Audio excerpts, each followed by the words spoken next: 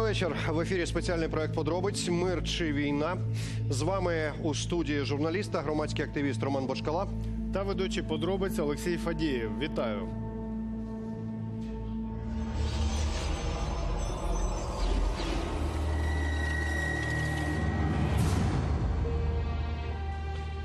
Конституційна криза. Чим завершиться протистояння суддів та президента? Чому українська влада лякає народ е, фаєрами на вулицях і протестами? І що е, або хто заважає боротися з корупцією в Україні? Червоний рубіж. Ми наближаємося до 10 тисяч нових випадків коронавірусу на добу. На які обмеження чекати українцям, коли зупиниться транспорт та скільки вільних ліжок лишилося у лікарнях? Саме про це будемо говорити у сьогоднішній програмі. З нами у студії сьогодні наступні гості. Е, Сергій Власенко, народний депутат, Батьківщина. Добрий вечір. Ірина Геращенко, народний депутат, Слуга е, Європейська Солідарність. Вибачте. Е, Андрій Боровик, виконавчий директор Transparency International Україна. Добрий вечір. Андрій Мотовиловець, народний депутат Слуга народу. Тепер правильно.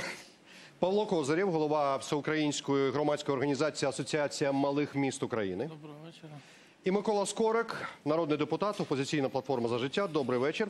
Ми чекаємо з хвилини на хвилину. Я сподіваюся, Нестора Шуфрича в цій студії. Ми бачимо зараз порожнє крісло. Ну і крім того, сьогодні будуть включення, і ви побачите, хто буде на зв'язку. Так, і як завжди, традиційно наша онлайн-аудиторія це українці з усіх е, регіонів країни, які зараз нас чують і бачать. Вітаємо вас! Добрий вечір. І зараз, мабуть, е, ми почнемо з теми. От вже і Нестор Шуфрич. Вітаємо. От і пан Нестор Шуфрич приєднався до нас. Добрий Дозвольте, вечір. Я зраду привітаю наших телеглядачів і м, хочу ще раз попросити, в першу чергу повідомити, е, подякувати наших лікарів. Е, Я вважаю, що це дійсно наші герої. Сьогодні, благодаря вам, э, мы проходим эту пандемию не благодаря власти, а вопреки того, что делает власть. Вы действительно наши герои, а эта маска действительно может спасти жизнь. Прошу вас, не пренебрегайте ею, берегите себя, берегите ваших Тоді Дякуємо. давайте почнемо Дякуємо. якраз з медичної теми, І, яка, власне. мабуть, дійсно стосується зараз кожного. 9700, якщо я не помиляюсь, 21 новий випадок коронавірусу зафіксований сьогодні е, в країні. І зараз з нами на прямому зв'язку міністр охорони здоров'я Максим Степанов. Пане Максиме, вітаємо вас. Добрий вечір, пане міністре. Нещодавно і в нашій студії, і, в інших ефірах ви казали, коли країна дійде до точки 10 тисяч випадків на добу, почнеться жорсткий карантин. Потім президент казав про 15 тисяч. Отже, коли на країну чекає локдаун? Ну я завжди е, говорив, що ми не можемо запровадити повний локдаун в країні е, навіть на 3-4 тижні, е, тому що ми розуміємо, в якому економічному стані ми знаходимося, і е, не можемо просто люди, щоб люди опинилися на вулиці е, без, без роботи.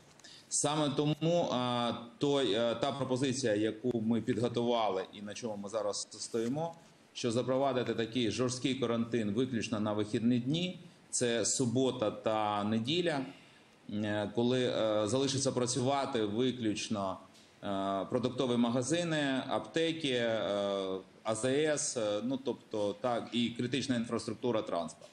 Все та, щоб не працювала.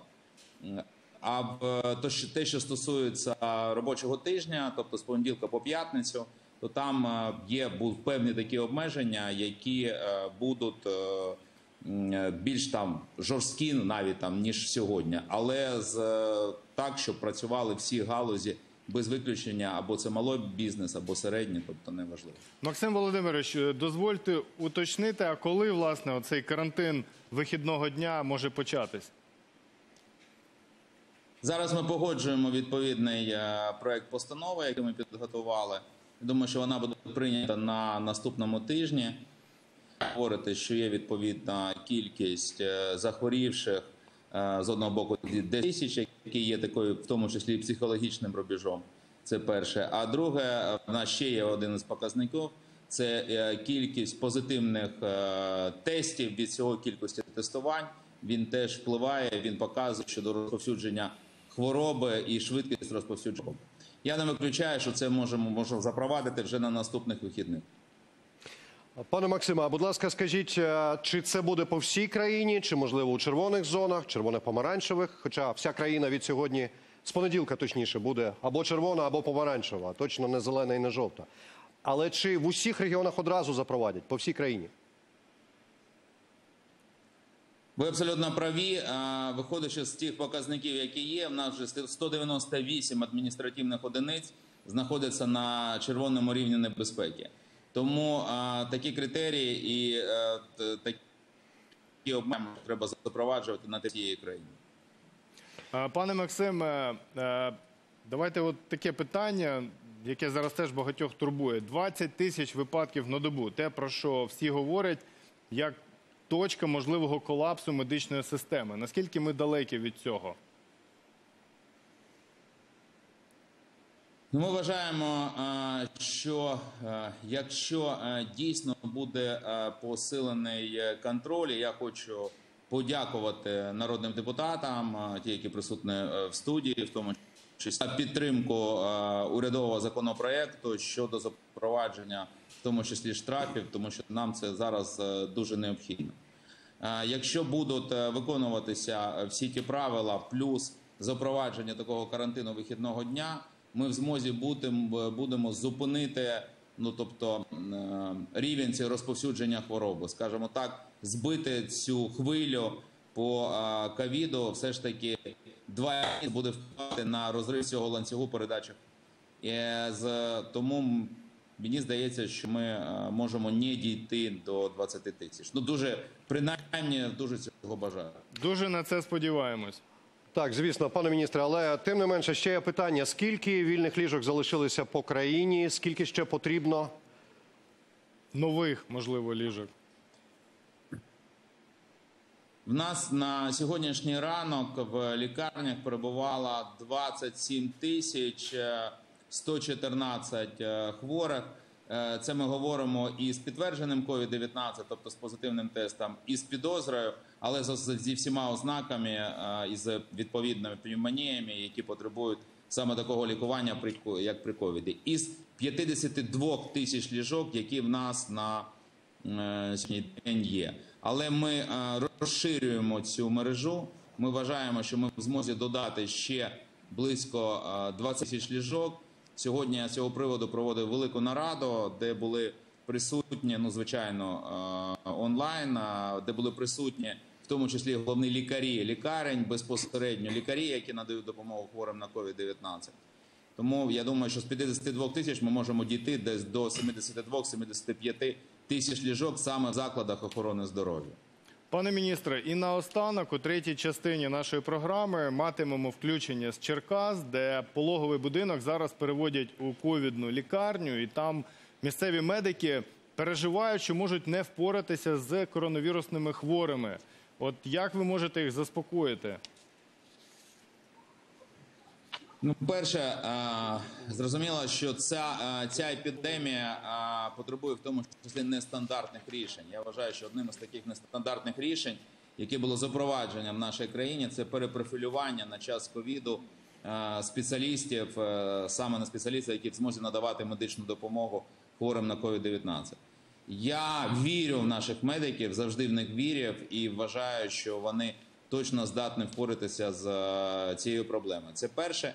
По-друге, з, е, звичайно, їм буде надана максимальна допомога, в тому числі і допомога щодо процесів навчання, яка постійно, постійно надається, в тому числі провідними фахівцями нашої країни.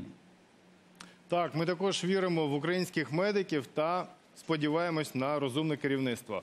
Подякуємо Дякуємо. Максиму Степанову та повертаємось до дискусії в студії. Ну а далі, власне, починаємо головну тему першого блоку. Просто ковід не можна не оминути цими днями і цими часами, і цими вже напевно що роками. Бо зараз норки вискочать в Нідерландах чи де там в Данії, а, і всіх поперезаражають. Дивіться новини. Ну але таке. Україна підбиває підсумки місцевих виборів. Ми вже знаємо точно в яких великих містах, не в всіх, звісно, перемогли чинні мери. Наприклад, це Київ, Маріуполь, Харків. Івано-Франківськ, Чернігів. всюди. Так, але в більшості міст буде другий тур. Так, приміром, у Дніпрі, Одесі, Луцьку, Сумах, Львові. А вони відбудуться не одночасно, 15 та 22 листопада. Тож виборча кампанія ще триває. Але цього тижня у фокусі уваги вже не вибори, а політична правова криза через рішення Конституційного суду. Ну, нагадаю, судді фактично зупинили електронне декларування для чиновників. Головним опонентом суддів виступив президент України. Володимир Зеленський вирішив звільнити частину суддів Конституційного суду. Він подав законопроект. Всіх. На початку Не частину всіх. Е, Згідно всіх, з- подав законопроект, але на початку тижня він записав аудіозвернення до депутатів монобільшості. Ми можемо послухати уривок з цього звернення чи ні? Дивна поведінка суддів Конституційного суду в лічені години поставила країну на грань катастрофи.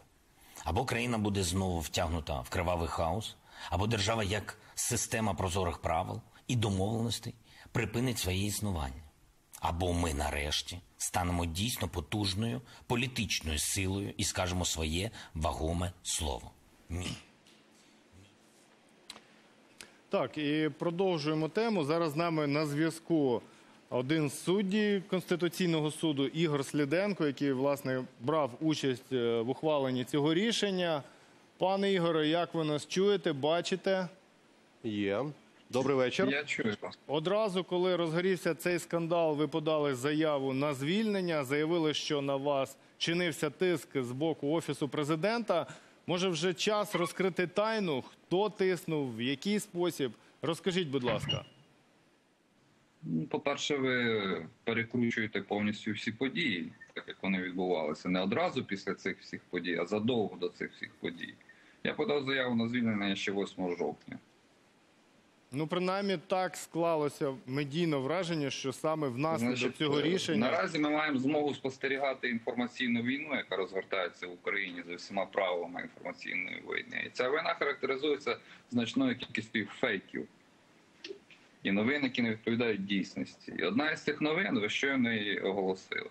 Ну, добре, що ви на зв'язку, і ми зараз вас почуємо. Розкажіть, як було насправді. Що як було насправді? Ви подали е, свою заяву ще 8 жовтня. Скажіть, а через які саме причини? Що вас е, Ну, про тиск це правда чи теж фейк, що на вас Так, це правда. Ну, от розкажіть про це, якщо можете. А ви можете Що сказати, хто сказати більше, тиснув? того, що Чи я вже розказав?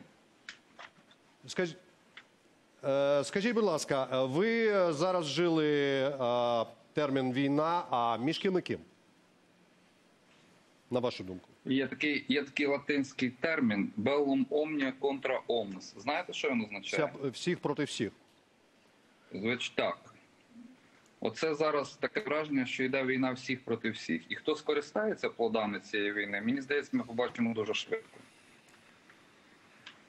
А розкажіть нам, будь ласка, добре, якщо не, е, не хочете говорити про тиск і хто тиснув, давайте Ну, що поговоримо значить, я не хочу власне про саме тиск? рішення. Так відбувався тиск.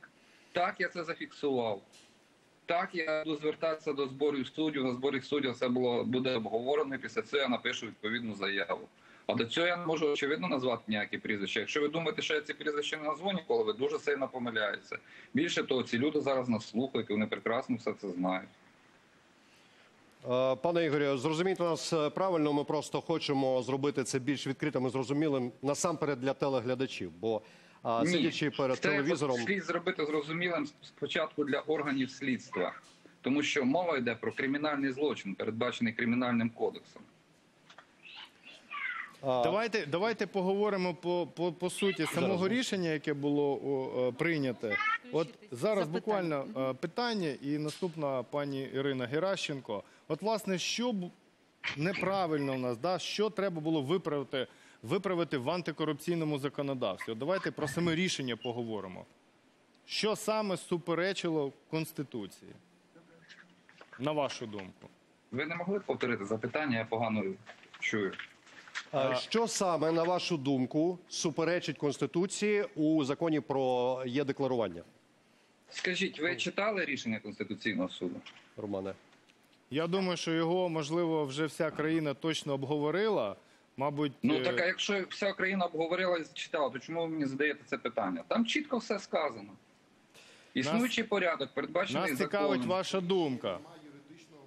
Існуючий порядок, передбачений законом про запобігання корупції. панове, тільки Що по. Щодо контролю Дивіться. над ЗК над судовою владою не відповідає принципу розподілу влади. Зокрема, тому, і тому його розумінню, що виконавча влада ні за яких обставин не може контролювати судову. Це що стосується ВАД закону про запобігання корупції. Що стосується ВАД е, статті 366 прим зі значком 1, або як ще говорять, то там е, проблеми менші, однак також слід виправити шляхом усунення деяких слів із е, диспозицій, там дві диспозиції в нормі е, цієї цього складу злочину. От і все. Запитання можна? А, пані. Так, до вас Так, є запитання. Ірина пане Ігорю. Геращенко перша задає питання. і У нас тут майже у Дякую. кожного я дивлюся є питання до вас. Дякую, дякую, шановний пане Ігоре. А, По-перше, дозвольте подякувати вам за те, що а, ви а, не просто зафіксували факт тиску на вас, а й зробили цей факт публічним. І наскільки я розумію, готові йти до кінця для того, щоб були розглянуті а, відповідні деталі, і для того, щоб просто таким чином унеможливити тиск на судову гілку влади. Знаєте, це як в боротьбі з корупцією. Для того, щоб боротися з корупцією, потрібно зафіксувати її факт і говорити про те, хто, коли там кому да, міг подібні Ближче дії пропонувати. Моє запитання наступне. А скажіть, будь ласка, чи а, закон е, законопроект президента, який так само було подано до Верховної Ради України е, щодо розпуску е, всього конституційного суду, чи є цей закон так само тиском на е, судову гілку влади, і чи є це підставою для уже автоматичного порушення е, кримінальної справи е, за фактом е, посягання на злочин? На вашу думку? Дякую, пані Ірино. Так, абсолютно вірно.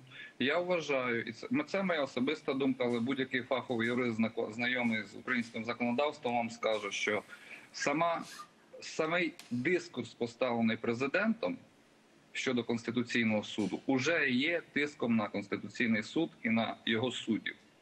А що стосується законопроекту, про який ви говорите, то мені здається, будь-хто, хто звернеться в компетентні органи з заявою про злочин, буде абсолютно правий, оскільки там очевидні ознаки зазіхання на державний лад України. Дозвольте. Нестор Шуфрич, будь ласка. Наступний прошу. Андрій Мотовилович. Вітаю вас, пане Ігоре. У мене е, два запитання. Е, перше, е, на відомому ефірі на е, президент України сказав, що у суддів Конституційного суду є сім'ї. Далі було він пішов давати оцінки рішенням і діям суддів Конституційного суду. Також була його відома заява, що якщо депутати не вирішать це питання, це питання вирішить вулиця. Я хотів би почути вашу оцінку цим словам, цим двом висловам президента України. І е, головне питання: як ви думаєте, чому президент України так відреагував на ситуацію, яка є доволі робочою, я би сказав, навіть стандартною. Тим паче, через подібне ми пройшли рівно рік тому, коли ви е, зробили зауваження до закону про незаконне збагачення, і які Верховна Рада врахувала і внесла зміну в діючий закон. Я думаю, через неадекватну оцінку ситуації і через переляк. Нічого, окрім переляку, в діях президента за останній тиждень я особисто не спостерігав. І це очевидно з його і поведінки, з його жестикуляції, з того всього, що він говорив. Нічого нічим як переляком це неможливо пояснити. А переляк чого? Мені здається, він боїться наслідків втрати влади, тому що мова зараз йде про те, що президент втрачає владу. Вона протікає через його пальці як пісок сухий, і він це прекрасно розуміє. І, власне кажучи, вся ця історія, яка затіяна з конституційним судом, це намагання згуртувати так звану монобільшість в парламенті і показати свою владу. Він один раз уже це зробив. В нього вийшло рік назад, коли він розпускав парламент. Конституційний суд тоді допустив фатальну помилку, на мій, на мій погляд. Я тоді голосував проти цього рішення, обґрунтовував його в окремій думці. Ні за яких обставин не можна було е, розпускати парламент, оскільки це була просто гра м'язами для того, щоб показати, хто хазяїн в цьому домі. Наразі відбувається приблизно те саме, на мою думку. То, вибачте, пане Ігор, я уточню, він налякався наслідків місцевих виборів. Е, Чи він В тому числі, в тому Чи- числі. чи він налякався, що ви оскільки я вже говорив десь, електоральна карта після місцевих виборів, вона чітко показала те, що вона показувала у 2004-2010 роках. Тобто Україна насправді зараз знову ж таки такий цивілізаційний, скажімо, вибір, такий, який як він відбувся після місцевих виборів, і змінити поки що цей статус-кво, я так думаю, неможливо. Є е, партія, яку підтримують більшість на сході і на півдні України. От є партія, одна і ще декілька невеликих партій, які підтримують в центрі і на заході.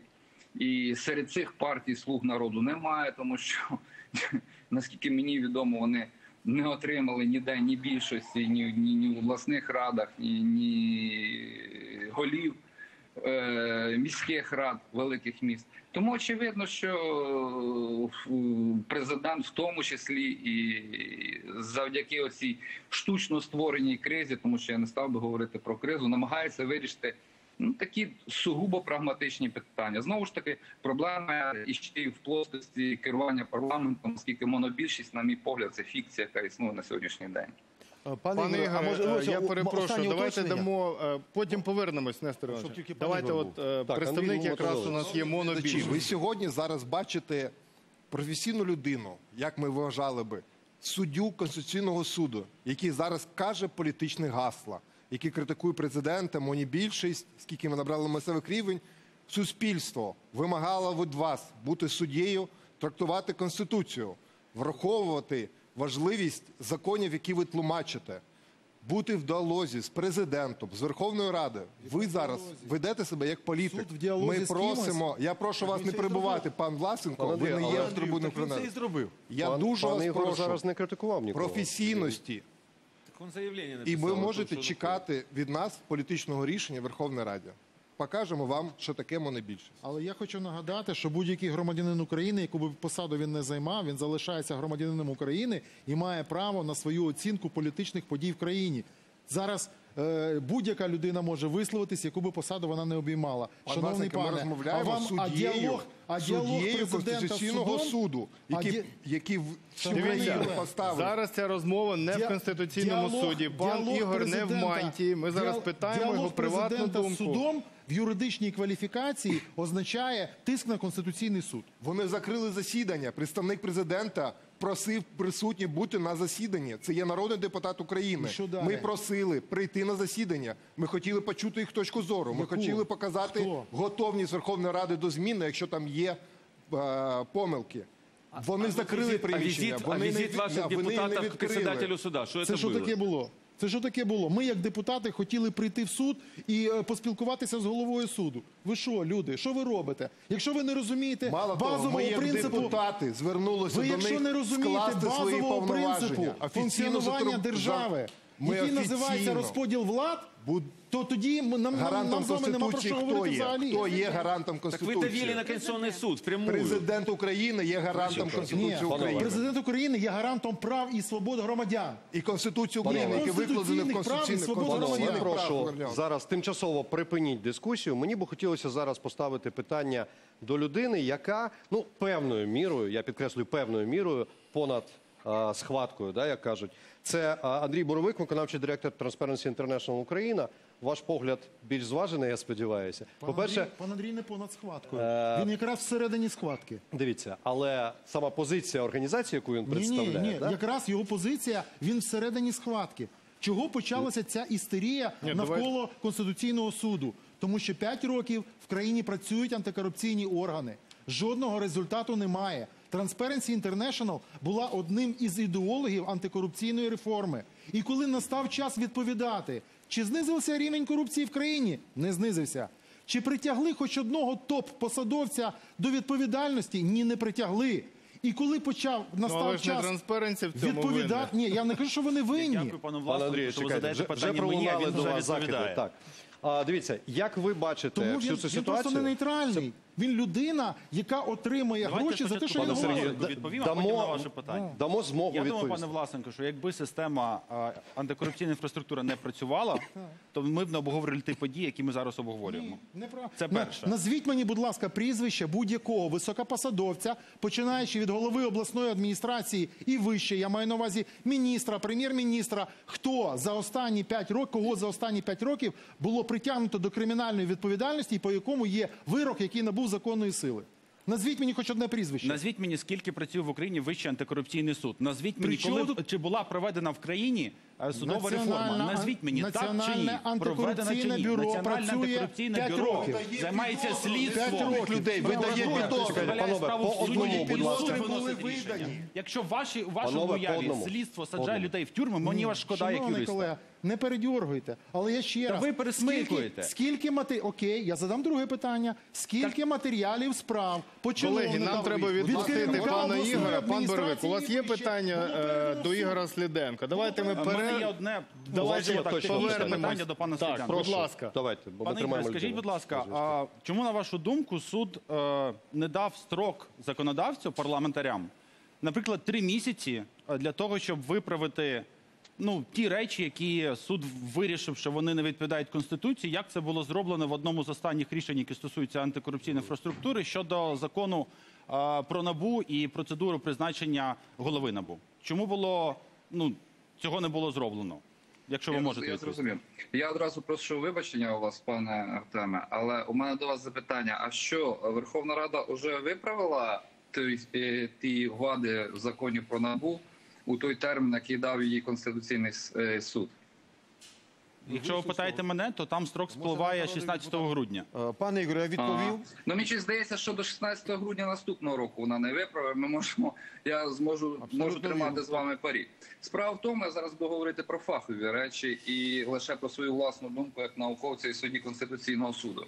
Оці, оцю практику, яку застосовує Конституційний суд, коли дає якийсь термін для того, щоб законодавець міг е, виправити норми, ця практика вона не є законною.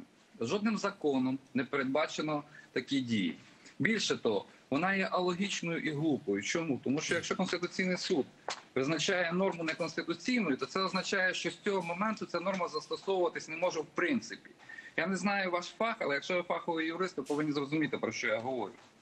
Тобто, з моменту, коли оголошення рішення, норма стає неконституційною, в принципі, і давати якийсь термін комусь, як мінімум, глупо. Це перше. Друге, Конституційний суд не може вказувати Верховній Раді як органу законодавчої влади, що йому робити. Їй належить Верховній Раді вся повнота законодавчої влади. Це також один із наслідків принципу розподілу влади, який діє в Україні.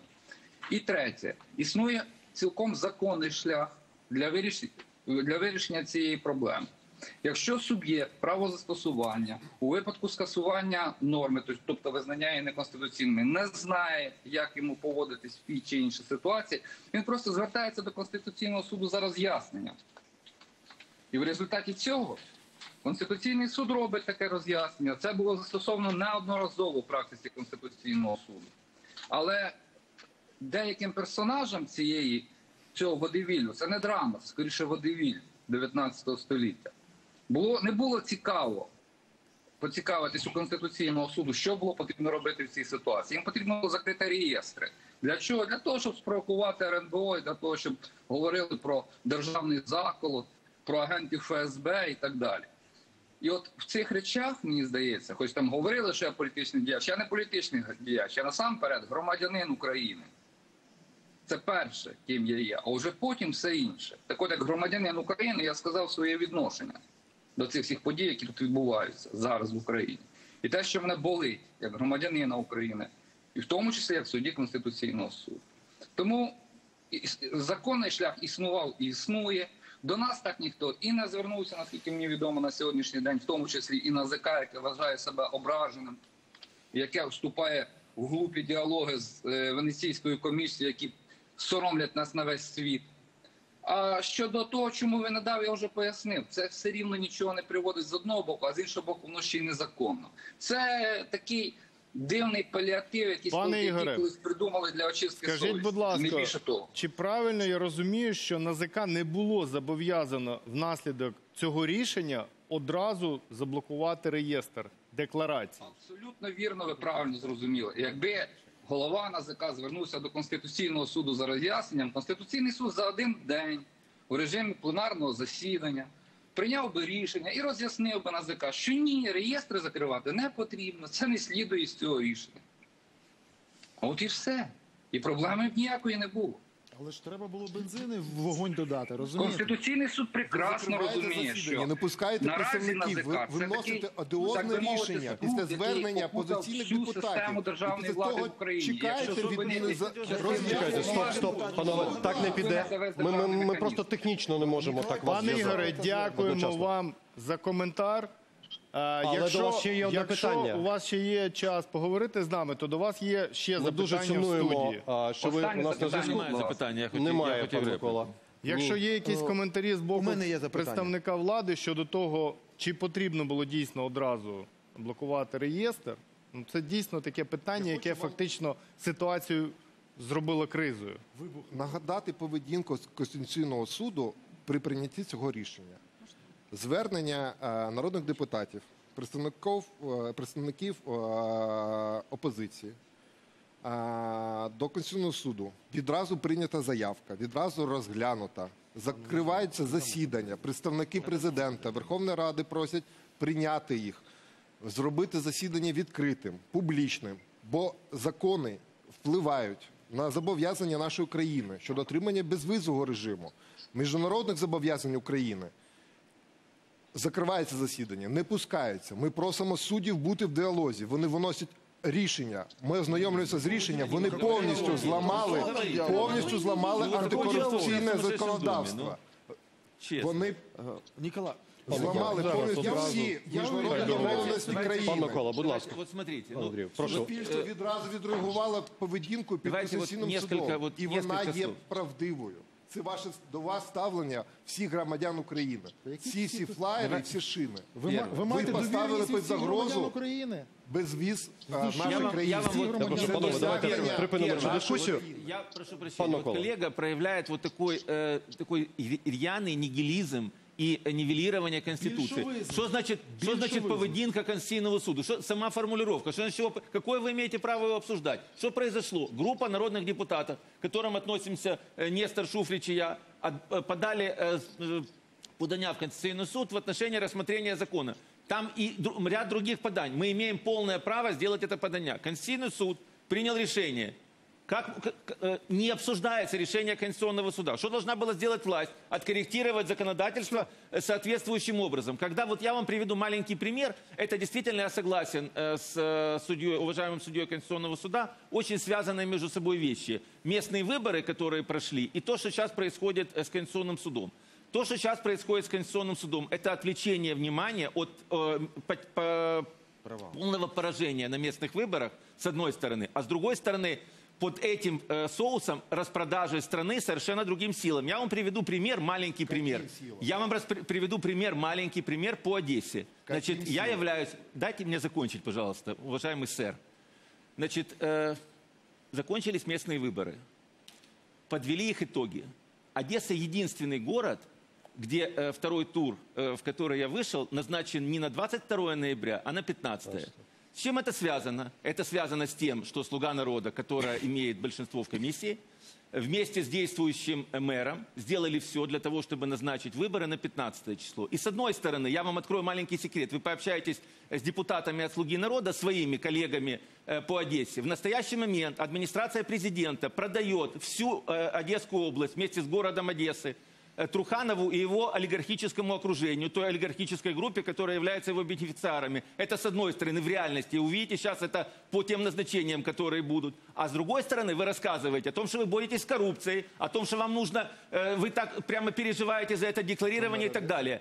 Это решение, вот э, любое решение, которое, давайте жить э, в нормальной правовой стране. Принял решение Конституционный суд, его надо исполнять. Нельзя относиться к нему и говорить поведение Конституционного суда. Это не ваш ребенок, И не соседский ребенок, который плохо себя ведет или хорошо. Это Конституционный суд. Вы являетесь э, народными депутатами. Конституционный суд не говорит вам, что вам делать в Верховной Раде. И не говорит, что делать президенту. Президент гарант Конституции и конституционных прав граждан. А вы занимаетесь, ребята, вы полностью вот по- почитали бы хоть чуть-чуть Конституцию, основные законы в стране. Вы пришли, масса вас э, пришла, абсолютно не понимая, что такое государство, и вы его продолжаете полностью уничтожать. Конституционный суд – это один из последних органов, который работал в стране. Если сейчас вы его уберете, то полностью настой... И президент имеет наглость пугать страну анархией, кровью и так далее. Гарант Конституции, если вы не примете какое-то решение. Да кто ты, кто ты такой? У тебя армия, полиция, и ты говоришь, что будет э, кровавый хаос. Какой же ты президент?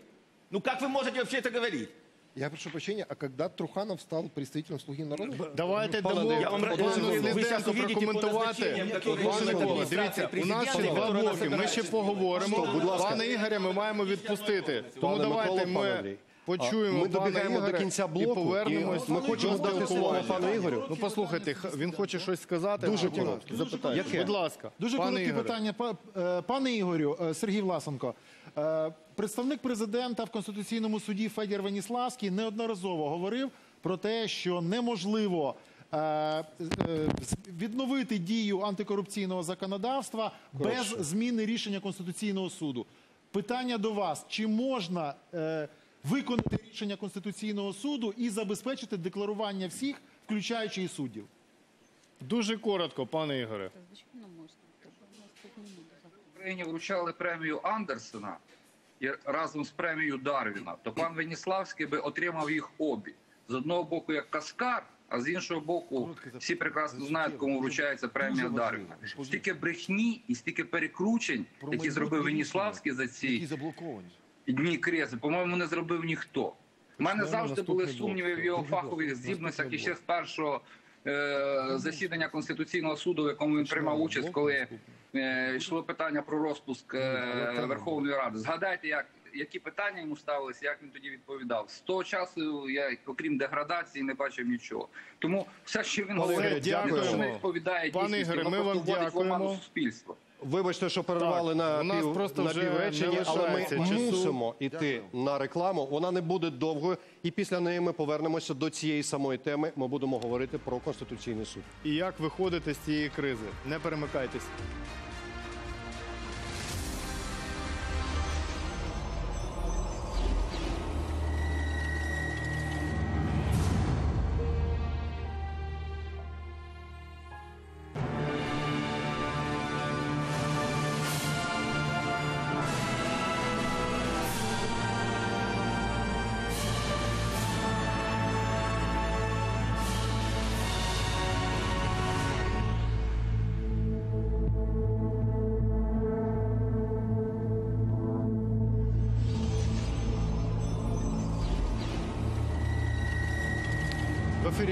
спеціальний проект телеканалу Інтер Мир чи війна. Продовжуємо говорити про конституційну кризу. В першій частині була дуже гаряча така дискусія. Повертаємось до теми. Нестор Шуфрич, ви не договорили і далі е, рухаємось. по Спасибо. К темі. сожалению, уже э, господина Игоря нет.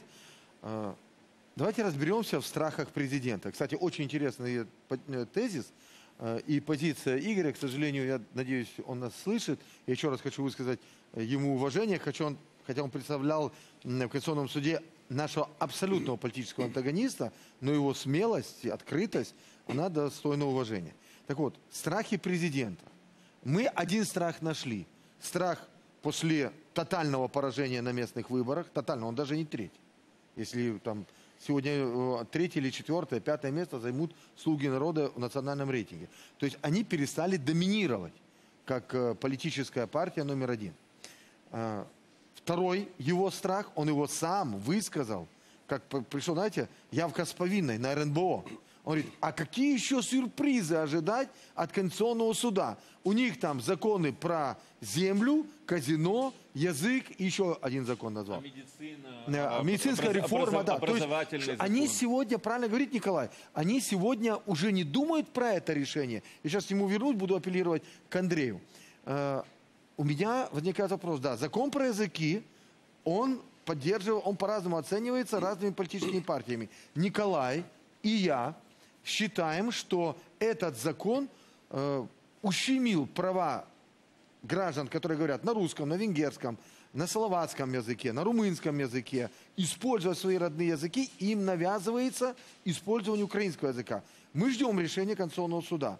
Но такие законы, как закон про землю, э, который не был поддержан внимание двумя третями населения Украины, закон про казино, сделали наши коллеги представление, если я не ошибаюсь, не поддерживает более 80% нашего, наших граждан. И мы, они все, они все сегодня стали предметом рассмотрения э, Конституционного суда. Э, По земельной реформе есть два представления. Наше э, с Николаем и нашими товарищами и Три. даже три. Перше про тлумачення Конституції і Да. два подання И про по сути, да. неконституційний закону про Поэтому э, обіг страхи земель. президента понятны. Конституционный суд, который сегодня отвечает за конституционность законодательства, может, имеет все основания в нашем понимании, отменить эти законы. Но что меня удивило в этой ситуации? И почему я уверен, что именно следующие рассмотрения і являються настоящими страхами президента? Е, Пане Андрію, справа до вас е, переходжу на українську мову. Дивіться, дивна виявилася ситуація. Коли в 2014 році голосували закони антикорупційні, всі знали, що там є неконституційні норми. Всі знали, пов'язували безвізом, МВФом, благали, що треба зараз проголосувати, а потім на протязі шести місяців виправимо. Пане Сергію, було таке? Було, саме так і було. І більше того, ми і голосували за це. Навіть і я голосував, і нам дали слово, що все буде виправлено згідно із вимогами Конституції. Тобто е, Порошенко Яценюк е, в своєму е, ну, скажімо, своє турборежимі на свій манер протягнули антикорупційне законодавство, яке не відповідає Конституції. І замість того, щоб Зеленський сказав, що я отримав ще один сюрприз і міну від Порошенка, зараз буду її виправляти. Ви створили такий хайп, що чуть не зруйнували конституційний порядок в країні. Є претензії до конкретного судді Конституційного суду. У нас виписана процедура притягнення його до відповідальності. Працюйте, але не можна лякати кров'ю, лякати е, знову вулицею, лякати сім'ї суддів Конституційного суду. Це неприпустимо, пане Андрію. Якщо ви сильна влада, ви не маєте звертатися до послуг Парасюка. Я побачив під Конституційним судом Парасюка, якому навіть в Львові вже гарбуза дали. Його зі Львова викинули з депутатства. А ви його знову вербуєте на роботу разом із соросятами, які там е, бешкетували і шабаш е, вчинили, з погрозами е, позбавлення життя суддів Конституційного суду. Ну як таке може бути? При президенті, який виступає гарантом Конституції і прав громадян. Зараз відповідає пан? Мотовиловець і потім е, Ірина Буде? Геращенко. Да, є. І Павло також. Е, пана президента нема страху. У пана президента є відповідальність за країну, е, відповідальність політична і відповідальність особиста. Е, Я побачив е, під судом не тільки е, Парасюка, а багато хлопців і дівчат з світлими очима, які можуть втратити надію. Надію на європейський розвиток держави на європейський путь розвитку держави, надію на продовження безвізових відносин. Пане Андрію, вибачте, що переб'юся. Одна ремарка. Скажіть, будь ласка, плакат, що припинення повноважень суддів Конституційного суду відбувається у разі їх смерті. І таких плакатів було Несторе, а можна 50. Доєднатися до вашої дискусії вже? Будь ласка, можна Дивіться. вже до вашої дискусії доєднатися? Е, Тому що я вже ви завжди. годину чекаю, коли хлопці припинять сварку і дадуть Ми, а, е, слово так само сваримось. опозиції. У нас нема Ви сварки. знаєте, дуже цікаве питання дійсно про страхи президента. Я переконана, що на жаль, а, в своїй цій некомпетентності і інфантилізмі він злякався кількох речей. Перше, очевидно, що а, руйнування антикорупційної інфраструктури розпочалося не з цього рішення Конституційного суду. Влітку а, було рішення по, як ви правильно зазначили, по набу, і ми не бачимо ані від президента, який є е, ініціатором законодавчої ініціативи, жодного законопроекту. Це зараз не про Хлопці, що президента, про, відбувається? про Я надію перепрошую. кожної людини. Пане, пане, У нас є пане Андрію, корупція, проблема. пане Андрію, дайте мені мої дві хвилини, Я будь не ласка. Пане Андрію, дайте мені дві хвилини, будь ласка, які сказати події. Ви знаєте про надію. Перше, наша Пане Всі ці- наша команда прийняла антикорупційне Можна я дам законодавство відповідь? і Будь ласка. дала надію. Каже пані Друге, Ірина, договорить. почали руйнувати антикорупційну е, інфраструктуру. Е, Рішення по набу, і потім монобільшість проголосувала абсолютно про непрозоре формування комісії по САП. Я думаю, що Зеленський звичайно знав, яке рішення Конституційного суду готується. Але що його злякало? Перше, це реакція суспільства, такого не очікував. Друге, реакція міжнародних партнерів. І третє, про що він кричав на засіданні е, Ради нацбезпеки і оборони, нам не дадуть грошей, тому що докерувалася ця зелена влада до того, що вже здачі немає чим дати, і в нас дійсно величезна дірка в бюджеті більше 150 мільярдів, і без запозичень е, абсолютно ця держава не і ця влада не витримать. І власне, замість того, щоб президент Зеленський дійсно попросив роз'яснення Конституційного суду, приїхав до парламенту зі своїми ініціативами і в умовах політичної кризи разом з парламентом шукав шлях конструктивного повернення брехні за е, кримінальної відповідальності за брехню в деклараціях і є декларування. Він дійсно влаштував як це, це дивно. В нього ж є юридична освіта. Він влаштував якісь анти просто антиконституційний закон, подав до Верховної Ради, спробувавши в такий е, спосіб перекласти відповідальність себе на парламент в неконституційне розв'язання цієї кризи. І більше того, він навіть зі своєю фракцією не говорив про цей закон. І вона за це очевидно більшість голосувати не буде. Але опозиція вже подала е, пропозиції, як вийти з цієї кризи, і ми дійсно можемо вже наступного тижня сесійного прийняти закон, який буде повертати відповідальність за декларування абсолютно спокійно це вирішити. Як це було в Ось 19-му році. Абсолютно. І користуючись нагодою про коронавірус, бо це є ключова криза. е, Інтер має багатомільйонну аудиторію. Я хочу звернутися до всіх лікарів, які сьогодні не отримують надбавки 300%, і лікарі, які перехворіли і не отримують страховку. Звертайтесь до мене, до всіх колег, які тут сидять у студії. Ми будемо вибивати, щоб ви ці страховки отримали. Це дуже важливо. Дякуємо. Дякуємо. Пан Андрій, ви зараз маєте змогу відповісти. Нарешті. Я навіть не знаю, кому відповідати Нестору Івановичу Суспільство. або Як вам пану зручно? Я хочу відповісти для Я суспільства, бо у нас є, от як ви всі зараз побачили від е, депутатів, єдина проблема це президент. Це не так. Ви теж проблема. Це не є проблема, це є надія України і є надія на те, що ми будемо захищати а, й- проєвропейський рух держави. Ми будемо захищати антикорупційне законодавство. Ми повинні краще боротися з корупцією. У нас не все гаразд е, з е, судовою системою. Ми зараз побачили. У нас не все гаразд е, з конституційним судом. Ми будемо продовжувати постійні зміни, керуючись Верховною Радою, законами, постійно змінювати дійсність. На жаль, ми не отримали гарних суддів Конституційного суду, ми не отримали гарних законів. Візді є проблеми. Ми їх будемо вирішувати, але шлях, що ми хочемо побудувати країну без корупції, і проєвропейську, він є незмінний, і ми будемо його продовжувати. Дякую. Це повна відповідь. Тоді рухаємось далі. сказали- Андрій Боровик, будь ласка, ці- ви тягнули руку. Давайте, як експерт. Ми, ми, да. ми дуже мало Павло вам Козирєв ще говорили. взагалі нічого не казав, ви наступний. А, дивіться, найголовніше питання, яке точно всіх зараз цікавить. Нас, в нас заберуть безвіз чи ні? Ну я за безвіз не відповідаю. Є певний механізм, як його Слухайте, але отримати, це як вже його якась насправді лякалка така. От. Зберуть без і, я- і як зберуть його безвіз. позбутися. Да? Тобто я, за, я безвіз не давав, тому і забрати його теж не можу. Я краще про інше, та? щоб люди просто зрозуміли. Насправді зараз є два виклики. Він не один, тому що воно все змішується в один казанок. Один це е, Конституційний суд України, друге це рішення, яке вони видали 27 числа. Щодо Конституційного суду України, е, ми знаємо, є три вакантних місця наразі. Так? Ми знаємо, що в Конституції прописана конкурсна процедура відбору суддів.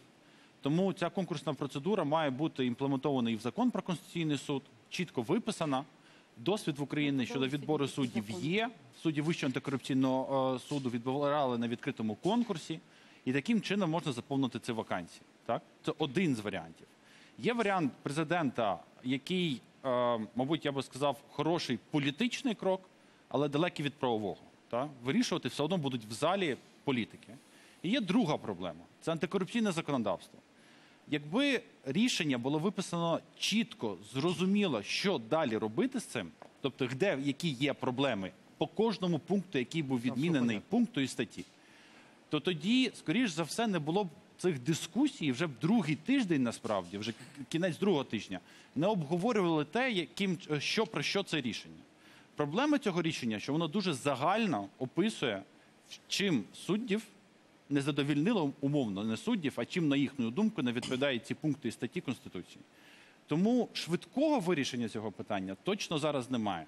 Варіанту просто повернути те, що було, ну навряд чи це варіант, тому що Конституційний суд йому буде потрібно, мабуть, хвилини для того, щоб його знову відмінити, тому що ми вони вже це бачили. Тому, на жаль, доведеться виписувати кожне статтю, кожне речення, кожне слово, кожну кому таким чином, вишукуючи, що ж хотів сказати а, Конституційний суд. А, і на це потрібен час, і потрібно, скоріш за все, якесь єднання експертних думок і політиків для того, щоб це рішення, такий варіант отримати і далі, щоб він отримав підтримку в залі. Я правильно розумію, що з вашої точки зору це не швидка річ, це, це криза розтягнеться. Я правильно розумію? Я не кажу про те, що криза розтягнеться. Я про те, що вирішити за одну ніч, за два дні це питання.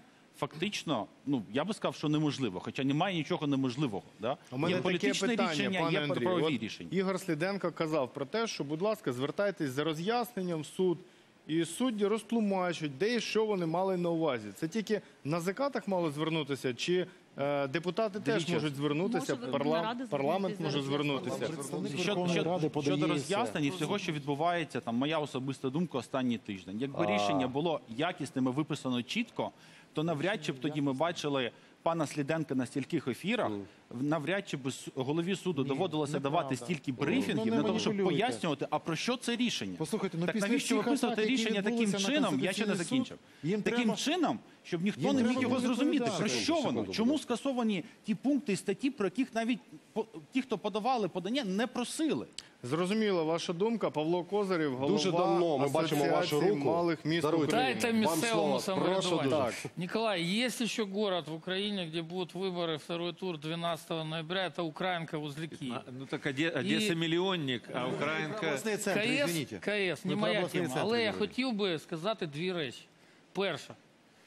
Я впевнений, мене підтримують сотні тисяч державних службовців. От я коли був мером, потім працював податківцем, заповнював цю електронну декларацію.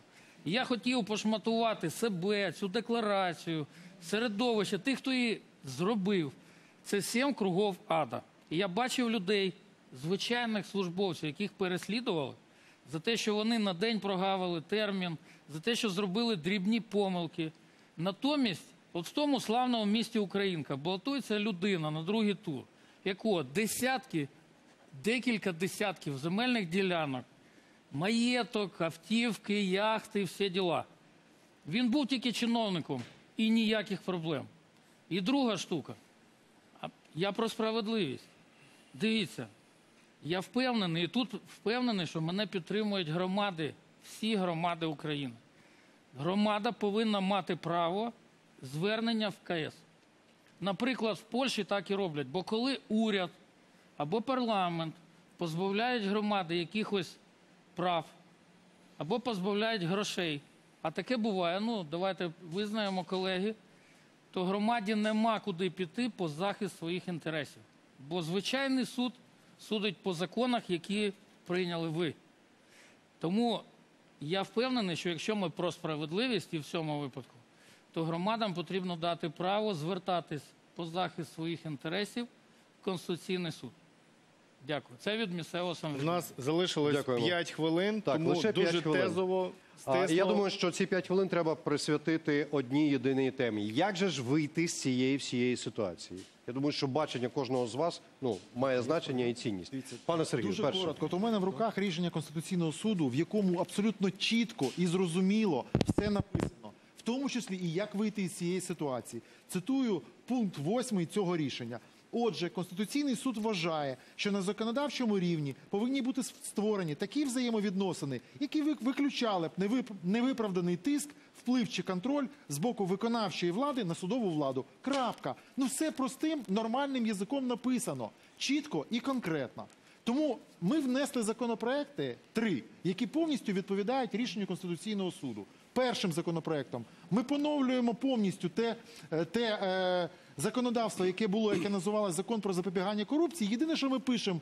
Цей закон не застосовується для суддів, бо судді декларують згідно з законом про судоустрій статус суддів. Крапка.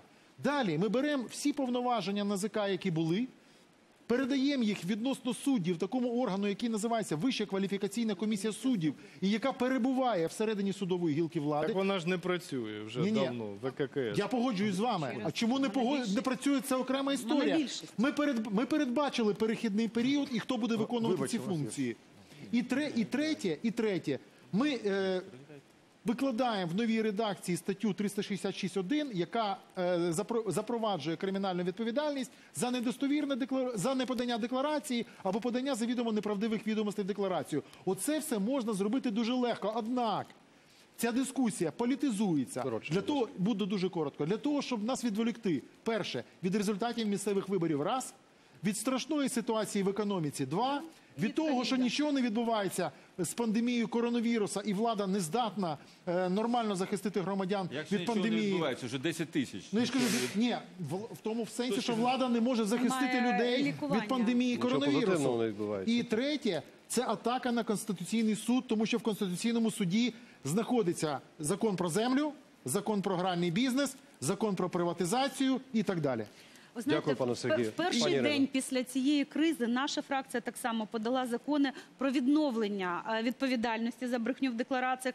І сьогодні ми зареєстрували законопроект про обрання суддів через таку конкурсну комісію, як антикорупційний суд. Це можна дійсно вирішити. Коли за... будете розглядати? Ми пропонуємо це зробити Ну, наступного тижня. Ми Ну, були готові вчора. І зверніть увагу, Зеленський, який істерив понеділок, зник з цієї теми, зник з радарів і вже нічого не відбувається. Але чому насправді він так само влаштував цю істерику в умовах, коли влада стікає скрізь пальці, але коли є своя прокуратура, свій ДБР, а немає вже монобільшості, бо всі закони приймаються 200 голосів, а не 226 монобільшістю. Треба ще свій конституційний суд. І під шумок він просто хотів 6 від себе, 6 від парламенту, щоб зайшли 12 своїх і просто насправді е, монополізувати ще конституційний суд, приймати потім будь-які свої бздури і не мати жодної тут гарантії, щоб їх якось суспільство могло зупинити. Дякую, пані Ірина. Пан Нестор, пан Микола. Ну, я, Я я, комментарий. я- спасибо. Як выйти из кризиса? Да, да, мы, мы, может, по нескольку слов каждый. Вы знаете, я считаю, что вот есть такая простая фраза, говорит, когда не знаешь, э, как поступать, поступай по закону. Святые У слова. нас есть Конституция, где есть разделение, ещё- мы сегодня уже несколько раз об этом говорили, разделение властей, законодательное, исполнительное, судебное. У каждой есть свои четко очерченные, согласно Конституции, функции. Мы совершенно забываем о том, что среди тех законов, которые рассматривались, есть законы ключевые с точки зрения конституционных прав граждан.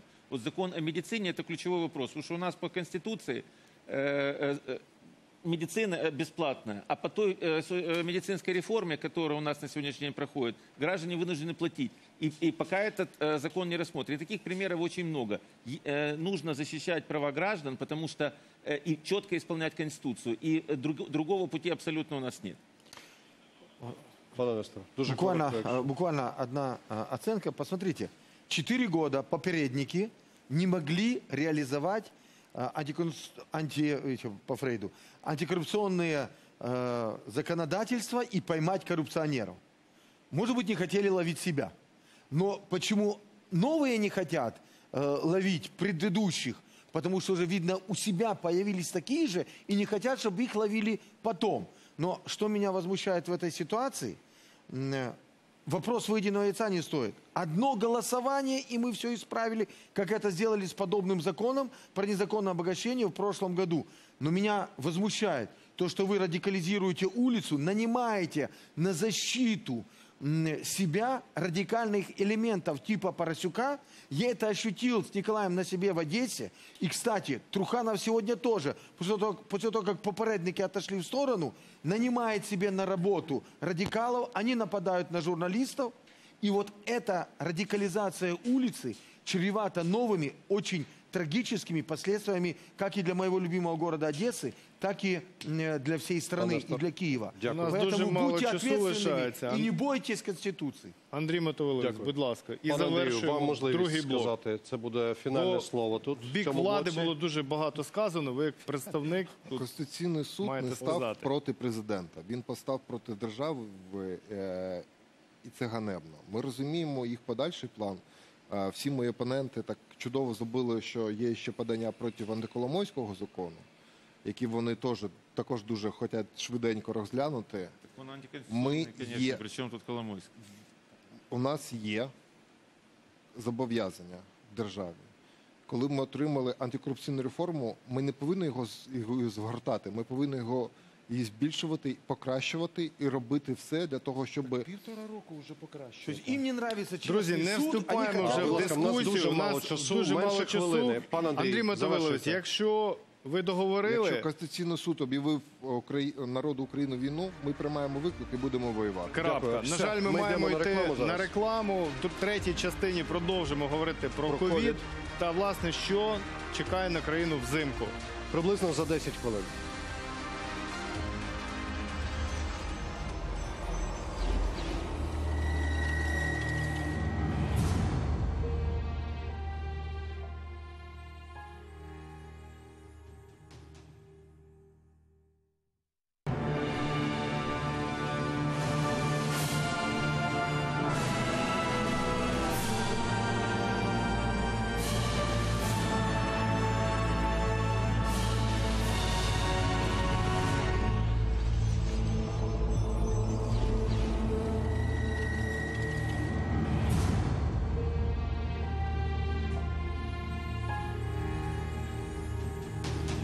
В ефірі третя частина ток-шоу Мир чи війна на телеканалі Інтер. І у третьому блоці ми знову повертаємося до теми COVID-19.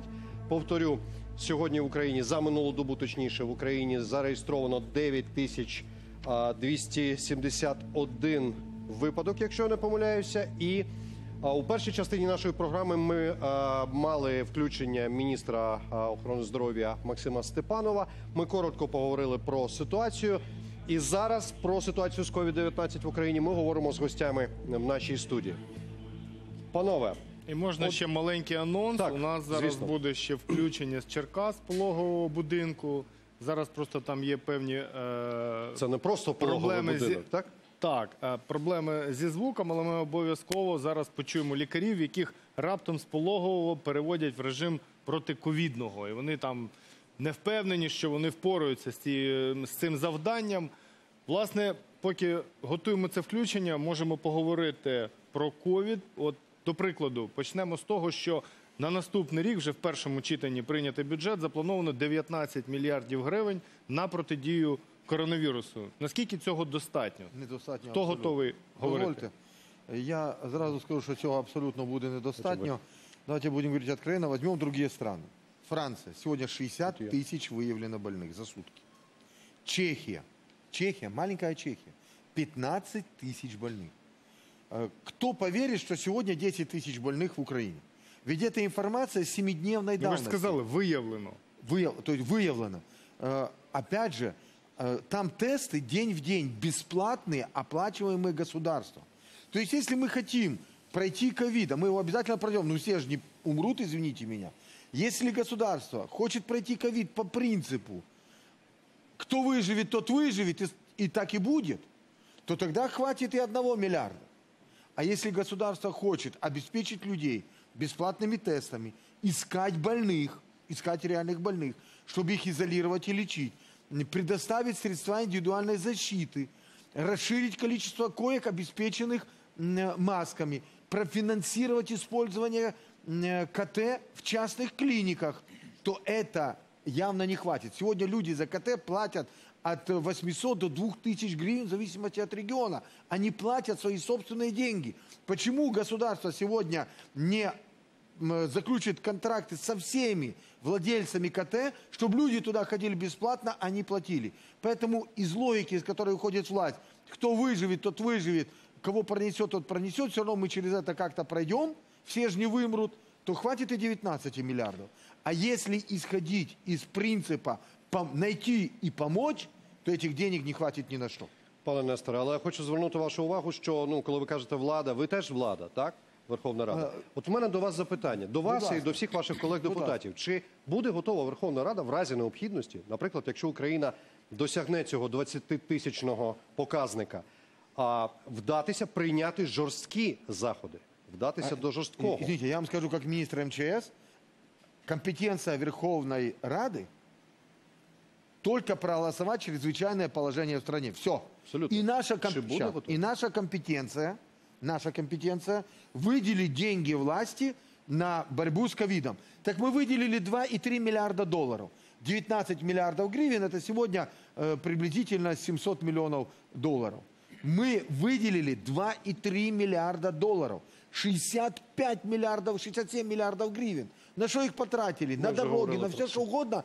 Э, Смотрите, мы сегодня ищем койки, мы сегодня ищем кислород, мы ищем, как помещение обеспечить э, э, обеспечением кислорода. Где это все собрать в одно целое? 8 месяцев народ Украины дал власти подготовиться. Все страны с лета уже готовы. А мы только сейчас начинаем это организовывать.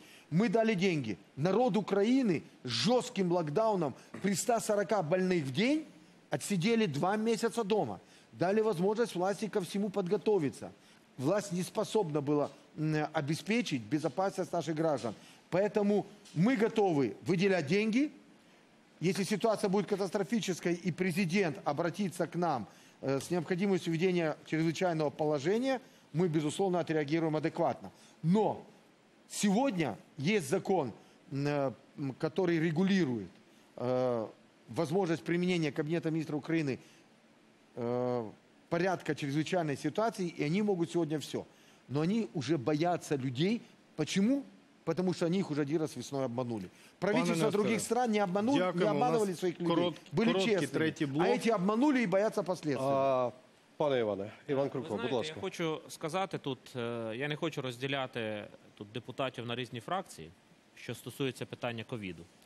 Тому що коли настала ця страшна біда в усьому світі і прийшла до України, е, то парламент не почав ділитися на фракції. Парламент проголосував усіма фракціями за те, щоб виділити кошти е, на е, ковідний фонд. И мы співавтори І були. більше того, всі фракції підписали той проект закону, е, яким ці кошти виділялися.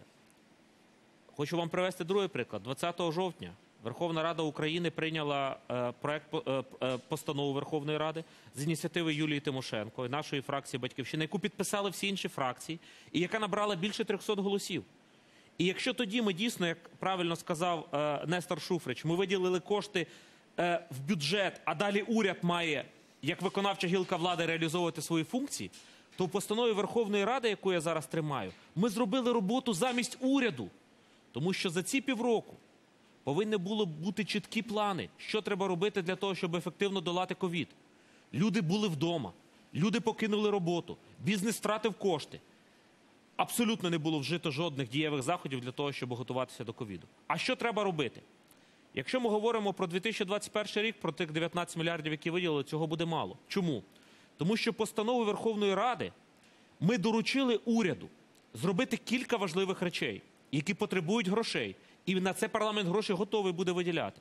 Перше, це проводити безкоштовні тести для людей день в день, не по тижню чекати. Якщо людина хоче провести тест, має симптоми, цей має тест робитися. Друге питання це ліки.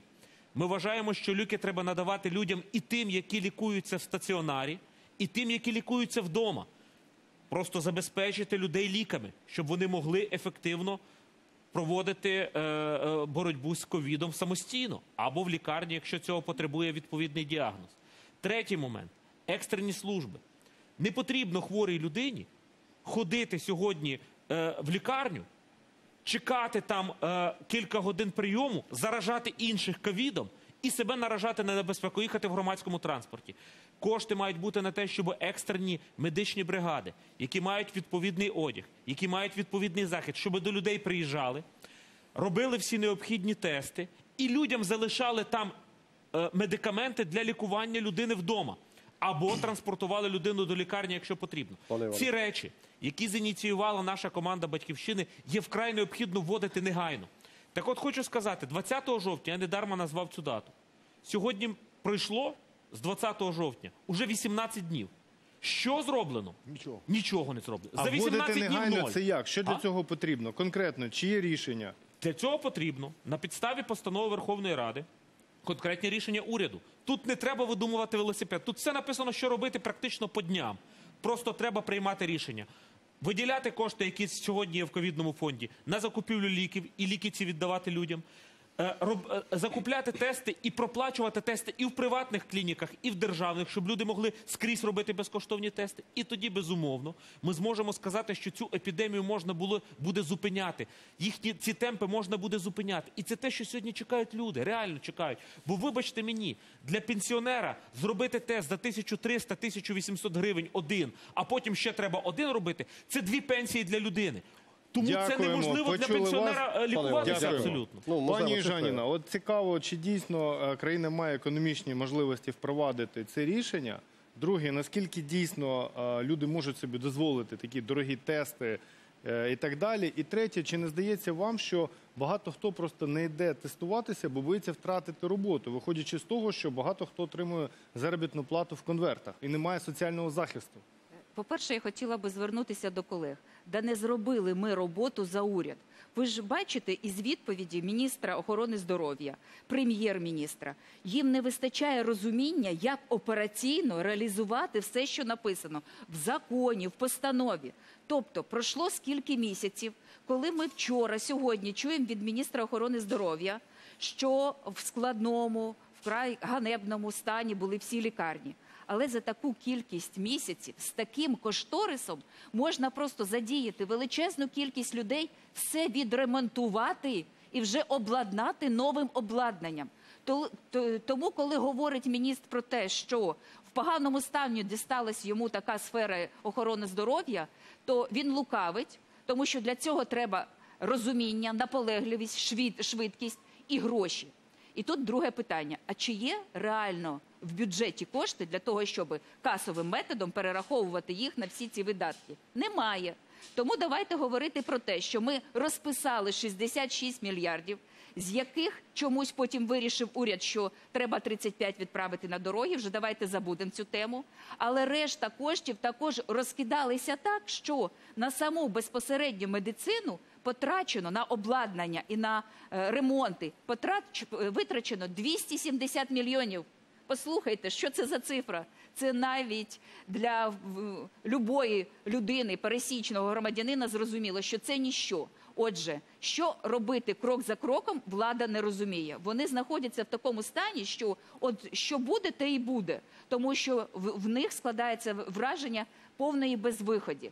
Тому я би дуже просила, щоб все ж таки е, всі, хто має вплив на саме прем'єр-міністра, щоб йому дали чіткі вказівки разом з міністром охорони здоров'я. Вони мають займатися операційною діяльністю, менше ходити по ефірам, менше говорити. Просто взяти один регіон, не вибираючи якусь одну лікарню, яку йому підготують, а об'їхати всю область. Всі лікарні, які зараз приймають хворих на ковід, подивитися, скільки, яка черга на КТ. Ви про що зараз говорите? Люди виздоровіли, а до сих пір не дійшла черга пройти КТ.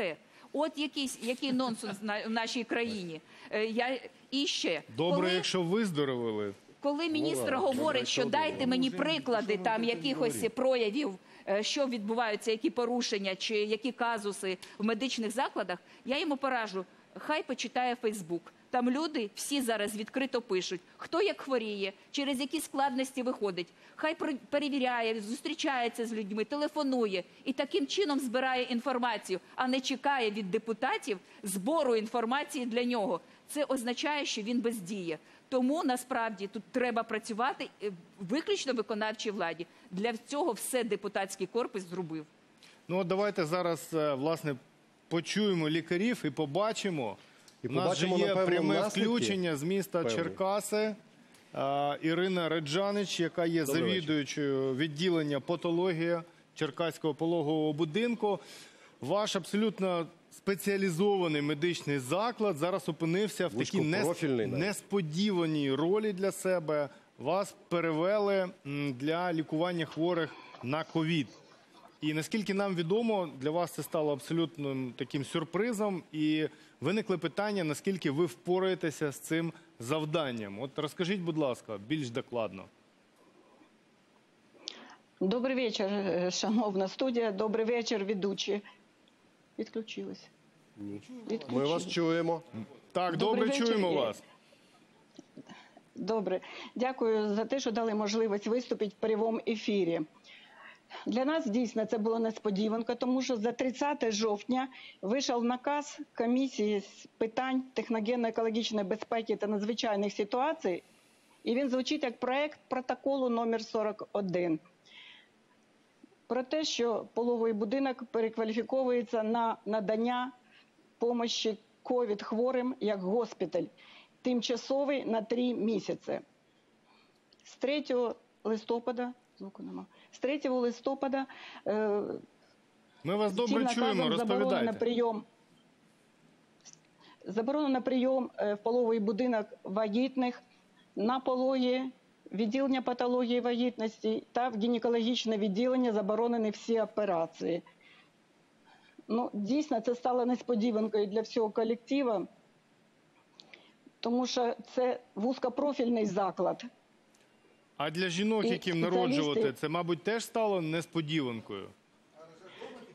Так, Вони мають десь Слухайте, в мене, в мене таке питання: а що в Черкасах вже не лишилося ліжок вільних?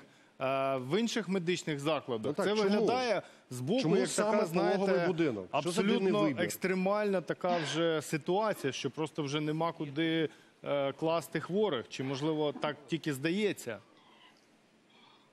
Ну, ви розумієте, це несподівано для нас. Трошки пізніше. Да, будь ласка. А скажіть, будь Пані. ласка, ви е, вас переведуть в інший якийсь медичний заклад? Ви зможете приймати пологи все ж таки, можливо, в якихось інших умовах, в іншому приміщенні, більш меншому? А де е, в чому буде полягати в подальшому ваша участь, діяльність? Ну, ви розумієте, на розсуд колективу е, запропонували або залишитися всім складом на базі нашого е, пологового будинку і оказувати допомогу хворим на ковід, або перейти е, на другу базу. Це єдиний заклад пологовий будинок, який має декілька будівель, і перейти повним складом або за бажанням на другу базу. Розумієте? А що саме, а що саме вас так лякає, от власне кажучи? Нас не лякає, розумієте, нас вже злякати чимось дуже важко. З 2009 року чомусь міська влада хоче закрити цей пологовий будинок. І це, можливо, якийсь привід стався під цю ситуацію. Але ж зрозумійте, що не лякає робота з хворими на ковід. Ми розуміємо, е, ви, ви абсолютно сміливі люди і фахівці, але ви фахівці у своїй сфері, скажімо так. так? Я зараз не хочу Абсолютно, вдаватися до жартів, абсолютно. але пульмонологія і гінекологія це трохи різні речі. І е, наскільки Навіть якісними акушерство, будуть а, ці послуги, ну, послуги чи ця допомога скоріше?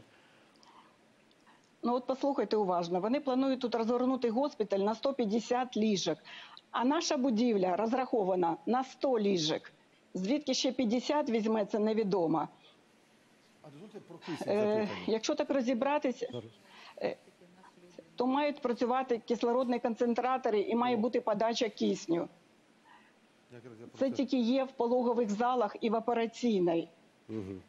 Якщо будуть кислородні концентратори, то на нашу електромережу це буде, мабуть, занадто велика нагрузка, тому що капітального ремонту наша будівля не знає вже більше 30 років.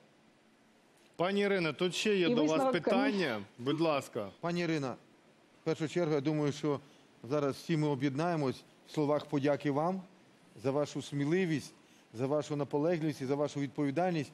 Зараз наші лікарі, от в таких лікарнях, як ваша, дійсно є справжніми героями України, і ви захищаєте кожного з нас і весь український народ, і всіх хворих, які, на жаль, захворіли.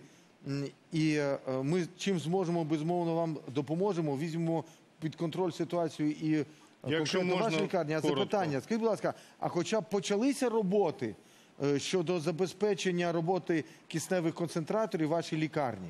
Хоч хтось, хоч, ну, хоч хтось прийшов, щоб розпочати ці роботи. Тому що я якраз хотів вас запитати, питання забезпечення, можливість використання кисневого концентратору це є голов, стратегічне питання під час переобладнання е, відповідних лікарень під ковід хворих. Значить, е, я не знаю, мені ж не представляється ніхто, хто тут заходить.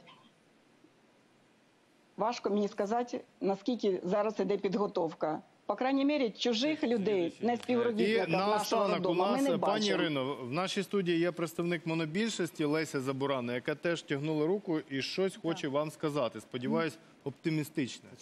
Так, е, ну ви знаєте, власне кажучи, е, ну найперше дійсно я б хотіла подякувати лікарям також, тому що сьогодні ви є, скажімо так, дійсно захисниками нашої країни, і ви е, боретесь за людське життя. Але в той же час я хочу доповнити, що та ситуація, яка у вас зараз складається, на жаль, це вимога часу, і вона складається не лише в Україні, а у всіх країнах світу. Буквально сьогодні стало відомо 85% реанімаційних відділень у Франції всіх заповнені ковід хворими.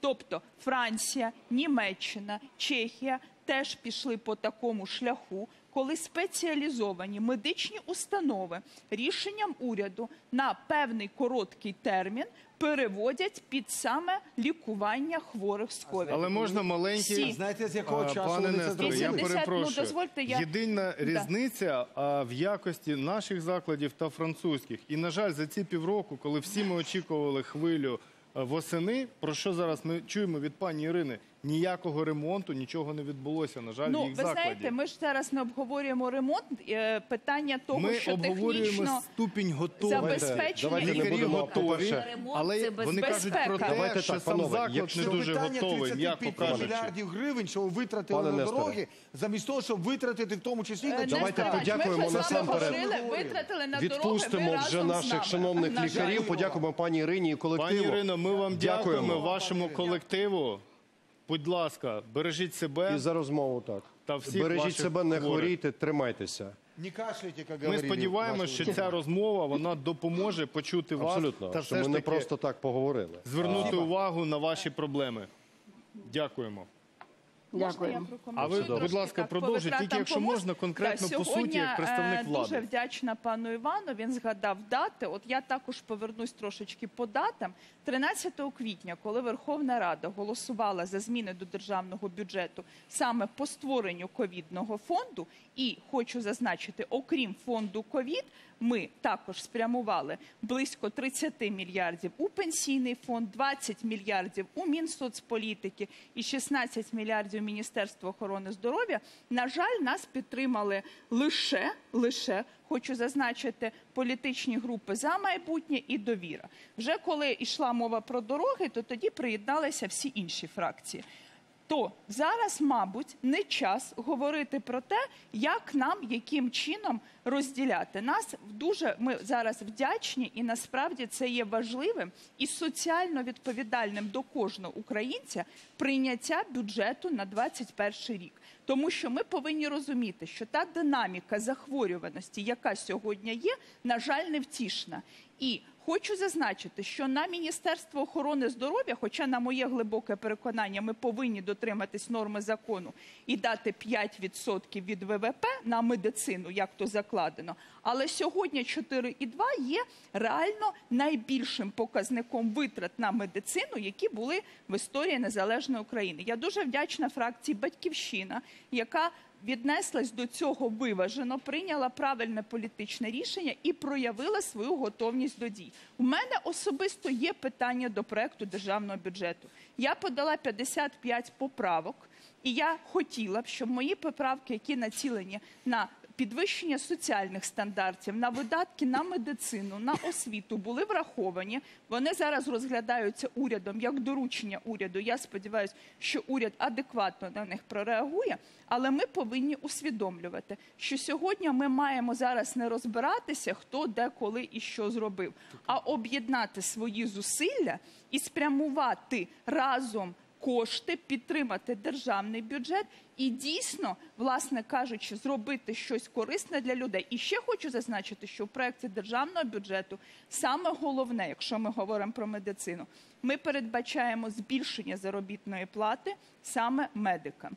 Заробітної плати такої, щоб вона була конкурентно спроможною, тому що те, що ми спостерігаємо по всій Україні, це не відсутність йдеться? пан Роман ліжкомісць. Це відсутність, в тому числі і фахівців, які внаслідок такої в певній мірі руйнівної політики по відношенню до медицини за останні роки перестали працювати ефективні кваліфіковані лікарі. Ми руйнували, тепер є намагання Ну, так, відновити. ну, а Ми де маємо ділися гроші для лікарям цих лікарів? нарешті дати гідні умови життя. І саме цей державний бюджет дозволить лікарям надати гідні умови життя, і лікар то буде професія, яка буде мати достатній рівень Пані оплати. Ми вже дуже багато років в українському суспільстві, в політиці говориться буде, буде, буде, буде.